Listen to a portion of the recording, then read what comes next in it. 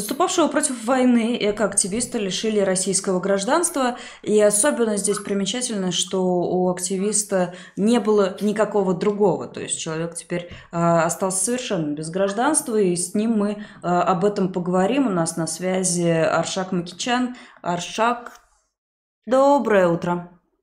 Доброе утро. Расскажите, пожалуйста, как так вышло для тех, кто не следил за вашей историей, когда началась, ну, начался процесс лишения гражданства и к чему апеллируют э, суд и власти? А, началось все это еще больше года назад, когда я решил попробовать баллотироваться на выборы в Госдуму, и у меня были договоренности с Яблоком. Они в последний день передумали меня выдвигать, несмотря на то, что я уже два месяца готовился к предвыборной кампании, уже анонсировал то, что я участвую в выборах. И один из э, руководителей Яблока сказал, что поступили такие угрозы, что меня и мою семью лишат э, гражданства в случае, если они меня выдвинут, и они не хотят э, меня так подставлять. Вот. Э, я тогда это серьезно не воспринял, потому что Яблоко тогда не выдвинуло ни одного ну, независимого кандидата практически, да, все, всех э, кандидатов от э, ФПК и да, большинство независимых кандидатов, как и меня, просто, да, не выдвинули. И таких кейсов до этого не было, да, чтобы политических активистов лишали гражданства. И мы просто с моими друзьями и знакомыми посмеялись, ну, я, и я продолжил заниматься активизмом. А, но вот, э, да, в мае этого года э, я узнал, что на меня завели такое дело. Просто зашел на госуслуги, и я к тому моменту уже был не в России, потому что я а, вынужден был уехать из России, а, да, в конце марта. Я довольно активно выступал против войны. Так получилось, что у меня с моей партнеркой приш... Э, пришлась свадьба на 24 февраля, и в итоге мы с ней сделали небольшую политическую акцию, потому что у меня на рубашке было написано «Факт ДВО», и у Полины было синее платье с желтыми цветами, да, и это как-то завирусилось. Мы давали много интервью, особенно на международном уровне. И а, вот, э, выходили на антивоенные протесты первые месяцы, пока были в Москве и да, они еще были. И в итоге, да, э, мы поехали в Германию и думали, что дальше делать, потому что Россия из авторитарного режима превратилась в диктатуру, да. Думали возвращаться, несмотря на все риски. Я про это писал у себя в Фейсбуке, вот, написал, и через несколько недель, э, да, узнал про такое дело. Вот, я был, конечно же, в шоке, потому что как такое вообще возможно? Я всю жизнь прожил в России, а, да, и основания российское гражданство у меня просто предостаточно. А, вот. Э, в самом иске основания были такие, что а, какая-то часть э, документов, которые, ну, основание выдачи гражданства моему отцу была утеряна, да, и, и, и, и, и тем самым они утверждают, что отец э, подал какие-то ложные сведения, когда мы получали, но но документы утеряны у них, и, ну, и это просто ну, непонятно, в чем тут суть, да. А, и еще, что дом, где мы зарегистрированы, находится в непригодном для жизни состоянии, но мы зарегистрированы в Московской области, мы просто очень давно там уже не живем. Я учился в Москве, я учился в Московской консерватории, вот, и мы жили в Москве. И поэтому да, э, очевидно, что это дело политическое, и самое страшное, что ну, это просто одно из, возможно, одно из первых дел, да, как э, когда-то начали признавать иностранными агентами, да, небольшие НКО, да, в 2014, кажется, да, и это было тоже экологическое НКО, экозащита, я помню. И вот сейчас мы видим, какая уже ситуация, да, что этот новый инструмент репрессии, это, тогда новый инструмент репрессии сейчас используют практически против всех крупных э, СМИ, э, а, политических деятелей, да, и я боюсь, что вот это просто одно из первых дел, и не только я, но и мои юристы, поэтому мы стараемся а, бороться, да, благодаря, ну, первому, работе первого отдела, вот эти суды длились очень долго, да, я не знаю, это хорошо или нет, но вот дело началось в июне, первые суды были в июне, ну вот сейчас только решение приняли. Вот. Насколько сейчас... я понимаю, это новая практика лишения гражданства политических активистов. Более того, и члены, а, ну, мужчины из вашей семьи тоже подверглись лишению гражданства. Вы воспринимаете это тоже как давление на вас? А, это очи- очевидно, что это давление, да, потому что в России так принято, и у Навального брата сажали, и все мы понимаем, в какой мы стране жили и живем, но это не новая практика. Такие методы давления, ну не давления, да, такие методы а, репрессий принимались во, во время Советского Союза. Ну, многие говорят, что Бродского ссылали и тоже лишали гражданства, но я думаю, много кого тоже так. Просто это они решили вспомнить вот этот советский инструмент репрессий. Да, просто все это произошло, я имею в виду решение суда о лишении вас гражданства, наряду с тем, как э, люди сами отказываются от гражданства, причем достаточно медийные. Ну, я, например, про Тинькова сейчас а, вспомнила. В связи с этим хочу спросить, какие у вас ощущения? А, в принципе, вас лишили какой-то связи со страной-агрессором и страной, которая, ну, творит э, дичь и ведет войну. В Украине э, нет ли от этого какого-то облегчения, может быть, даже? Смотрите, вот э, когда мы говорим про миллиардеров, да, у них практически всегда есть какие-то другие гражданства в европейских э, странах, гражданство, деньги и прочее подобное. Для меня это очень сильно сейчас усложняет жизнь, потому что я не хочу просить убежище и застрять в одной стране, а, так как моя партнерка учится в другой стране, да, я хочу с ней все же иногда видеться. Также это дело касается не только меня, да, и людей, которые ну, не могут уехать в Европу и не хотят уезжать в Европу и бросать всю, всю свою жизнь, да, когда вот начинает э, репрессии касаться уже не только активистов, да, то ну, это совсем уже другой масштаб.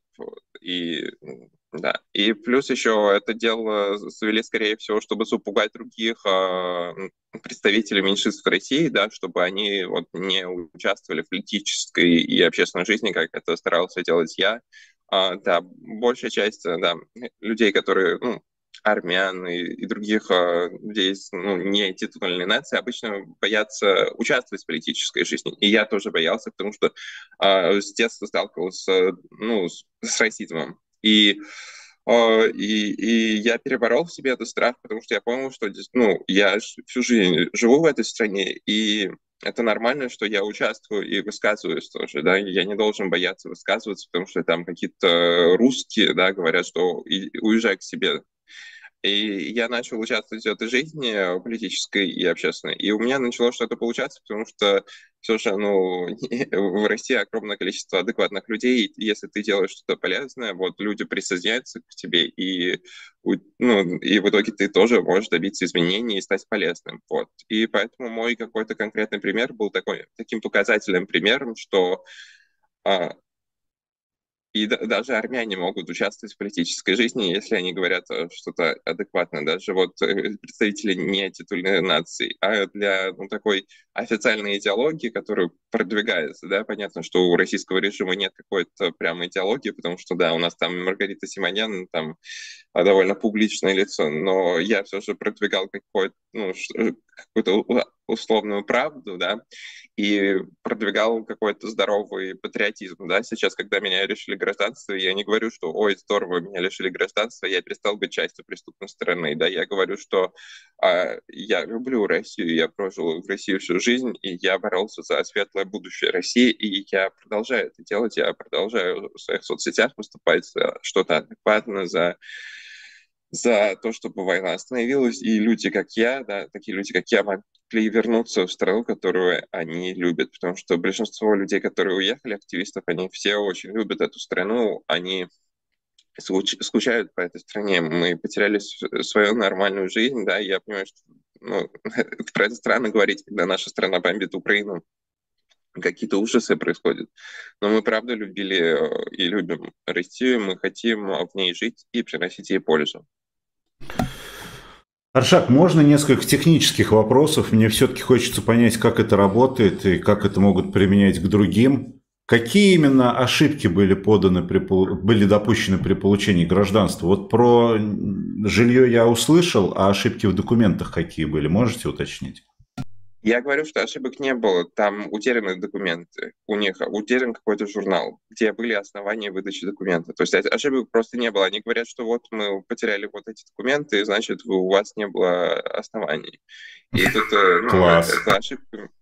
Да, и как это все, все в целом будет работать, э, ну, просто сложно понять. Вот, э, прокуратура, которая завела это дело, она требовала еще лишить нас права на имущество, да, понимаете, куда это все идет. Если на, ну, суд в итоге не принял эти предложения, да, на, нас не решили право владеть имуществом в России, да, но и если будут дальше появляться такие дела, вот представьте, что у всех активистов, которые уехали, да, завести такие вот дела и лишить их имущества. Сколько это а, денег можно Очень удобно да? для государства Можно, можно всех будет. мобилизованных э, расселить сразу. сразу и не обязательно даже Самара-арену в Самаре под это использовать, да. Аршак, правильно? Э, могу ли я спросить, где вы сейчас находитесь?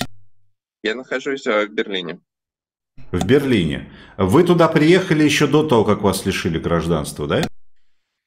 Да, я приехал сюда 20 марта. Вскоре после начала войны. Как теперь скажется э, лишение вас единственного гражданства на вашем дальнейшем пребывании в Берлине и возможности перемещаться по миру? А, вот, я не знаю, я встречался с юристами и обсуждаю это с юристами в России тут, а, и непонятно, какова будет практика, да, как это все будет работать. А, как они отменят мой загранпаспорт, который до 24 года, или нет. Непонятно, как это все в дальнейшем будет работать. А, вот. У меня пока еще только виза до конца этого года. Я не знаю, что дальше делать. И я все же надеюсь на какую-то помощь от европейских а, политиков, потому что ну, это какой-то беспрецедентный кейс, и европейские политики должны тут ну, хотя бы поддержать меня, предложить какие-то э, решения для таких людей, как я, так как я не хочу просить убежище, я не хочу застрять в одной э, стороне, а, да, не иметь возможность видеться со своей партнеркой, да, я хочу продолжать заниматься активизмом, приносить э, пользу, и мне кажется, тут какой-то очень очевидный случай, когда европейские политики должны показать да, свои ценности. И поэтому я сейчас довольно много интервью даю на международном уровне и говорю, вот что, вот смотрите, такая проблема, да, я неплохой вроде человек, я был против войны, еще до войны. Давайте вы мне тоже поможете, и чтобы я ну, продолжал, мог продолжать заниматься активизмом и мог продолжать это делать эффективно. Подождите, а почему убежище не вариант? Оно не дает возможности выезжать из страны, в которой вы получили политическое убежище? Долгое время, да, вы, mm-hmm. вы застреваете в одной стране. Бол, более полугода точно. А, ну, сколько конкретно, уже как пойдут суды тоже. Но меня знаете, что вот э, задело в ваших словах, э, что вы считаете, что европейские политики должны помочь. Мне кажется, нет никакого должествования, э, нет никакой обязанности у них. Э, понятно, что случай беспрецедентный, есть вопросы, как дальше выруливать. Есть вопросы, а можно ли в принципе получить другое гражданство, теперь не имея предыдущего? Потому что а какие документы? Ни одного действующего документа больше у Аршака, я так понимаю, нет, да? Угу. Если его лишили гражданства, значит его паспорт и э, национальный, и загранпаспорт, и все прочие документы сразу теряют актуальность. А чтобы подать на какое-то гражданство заявление, нужно иметь хоть какой-то документ. Э, интереснейшая ситуация. Ну, людям без э, гражданства можно получать такой условный вид на жительство, что-то похожее на это на территории той страны, в которой они сейчас находятся, но это тоже все в разных странах очень по-разному работает. Да, можно получить документ человек, лица без гражданства.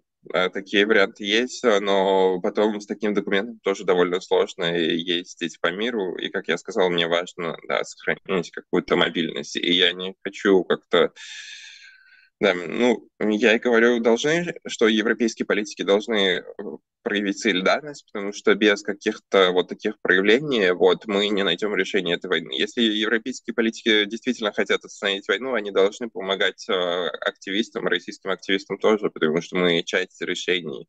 А мы предпринимали какие-то огромные усилия, чтобы постараться остановить войну. Мы выходили на улицу, рисковали своей свободой, и поэтому, ну, я тоже не должен был, да, рисковать своей свободой все эти четыре года, выходить на улицы каждую пятницу, говорить про все эти проблемы. Но это дело, потому что есть какой-то гражданский долг, вот, а, да, россиянина, да, с которой вот я э, выполнял, и за это меня не лишают гражданства. И мне кажется, есть что-то и на каком-то международном уровне. Вот это э, решение противоречит международному праву.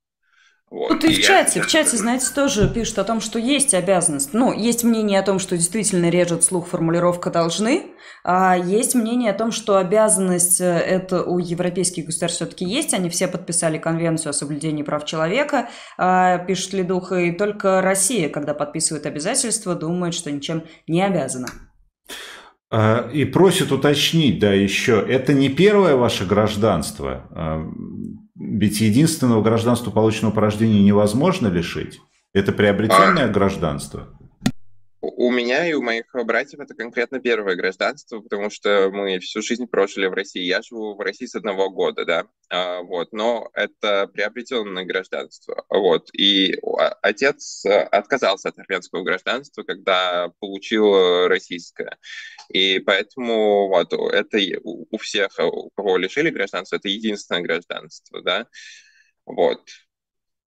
Понятно. Но вот говорят тут про Нансеновский паспорт. Э, про это думали? А, люди очень много всего советуют, да, и говорят, что ты можешь получить армянское гражданство и много прочее подобное, но тут нужно понимать, что, во-первых, важно продолжать какую-то легальную борьбу, чтобы эти случаи не коснулись других э, россиян, что мы и делаем. А, и, во-вторых, э, да, ну, а, я не знаю, например, безопасно ли мне находиться в Армении, да, а вот, потому что Армения все, все же подписала огромное количество документов, э, э, да, подтверждающих, что если Россия заводит на активистов уголовные дела, то Армения выдает, да, людей. А, и, например, мы с моей партнеркой ездили в Грузию вот еще в феврале, и там за нами тоже была слежка. А сколько там э, российских агентов в Армении, да, и, сейчас там много людей прячутся от э, путинского режима, но насколько это безопасно им, это такой очень открытый вопрос, и про это сейчас мало говорят, да.